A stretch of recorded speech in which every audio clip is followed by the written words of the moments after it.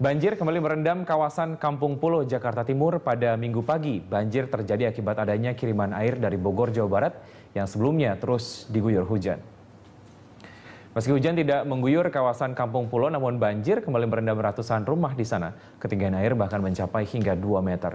Banjir terjadi akibat air kali Ciliwung yang meluap akibat tak kuat menampung debit air yang datang dari Bogor. Warga berharap pemerintah segera melakukan normalisasi kali untuk mencegah banjir kiriman seperti ini terus berulang.